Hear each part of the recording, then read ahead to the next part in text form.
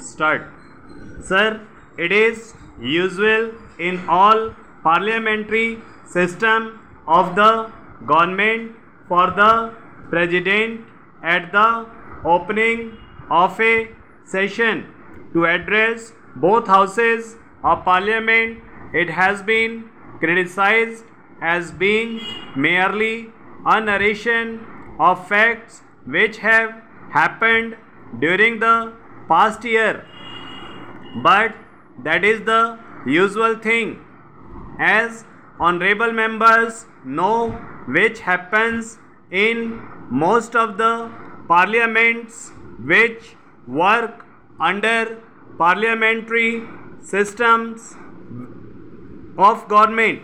I am sure that the honorable members are aware that India has always stood for peace and ever since her independence has done what she could preserve to peace in the world both in Korea and in Indochina.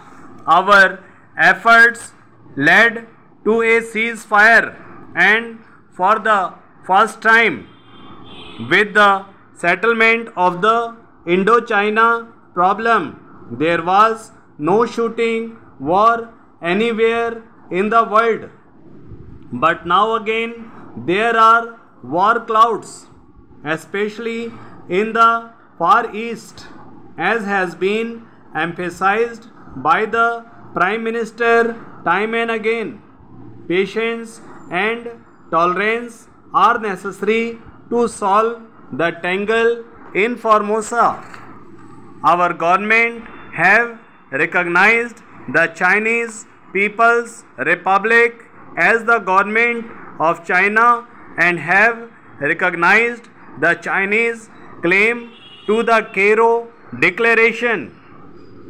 If the Cairo Declaration is to have any value, then it is fairly certain that Formosa is a part of China.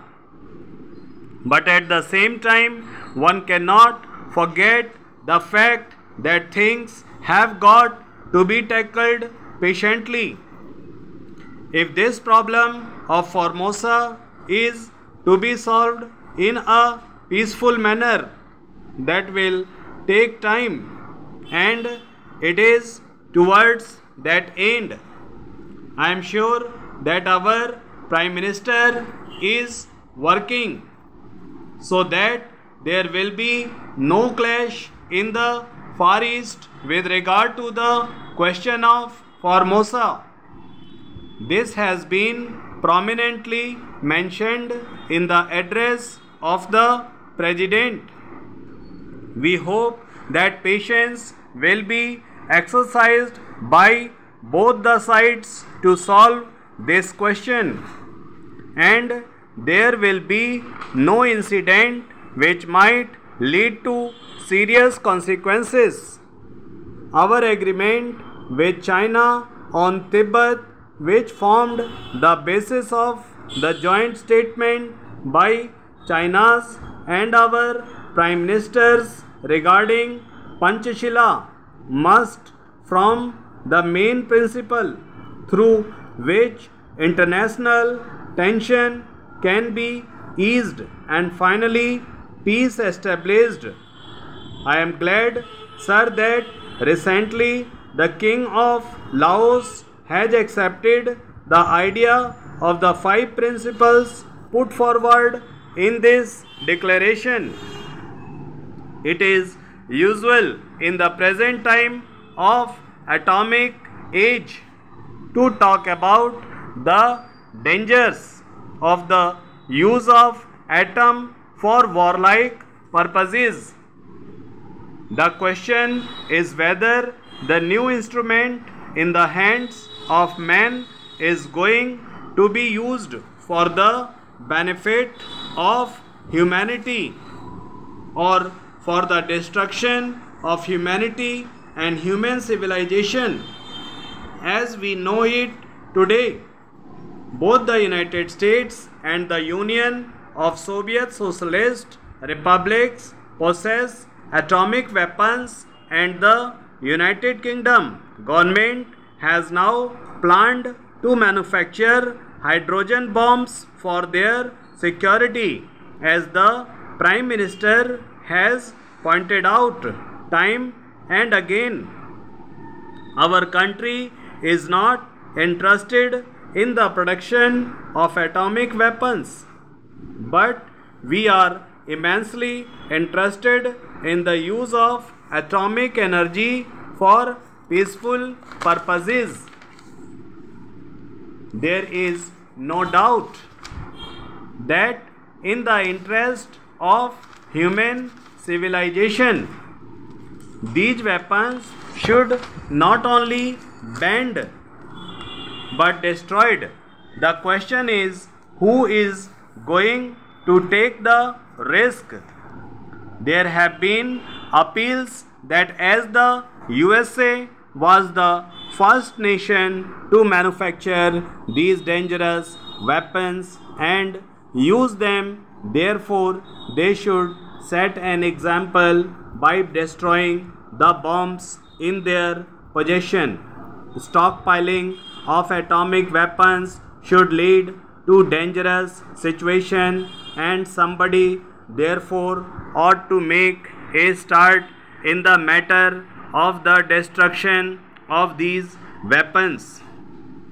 If moral standards are to be the guiding factors, it will be a great help to humanity.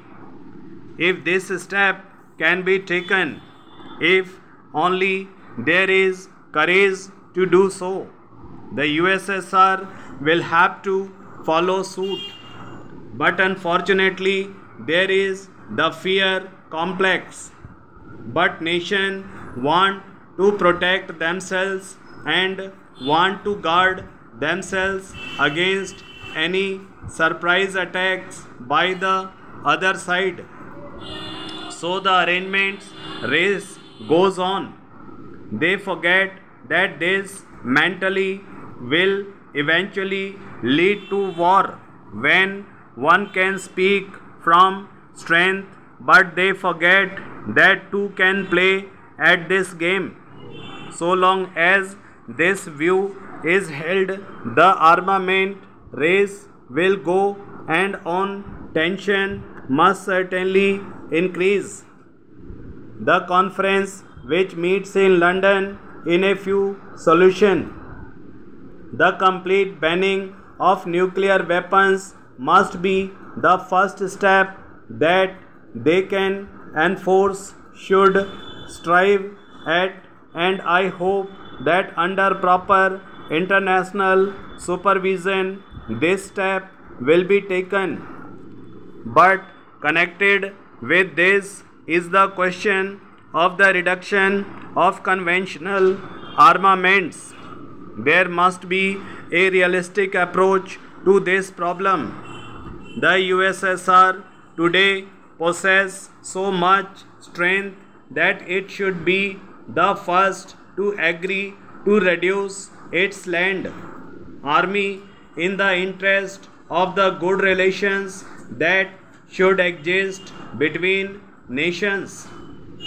One hopes that it will understand this position and take steps to get this done. I am glad that the Atomic Energy Commission of the United Nations have recognized that India has a part to play in this field and has asked our leading nuclear scientist Dr. Bhabha to preside over the conference proposed to be held at Geneva. The USSR has promised to show how she has been able to set up a nuclear plant producing economic power.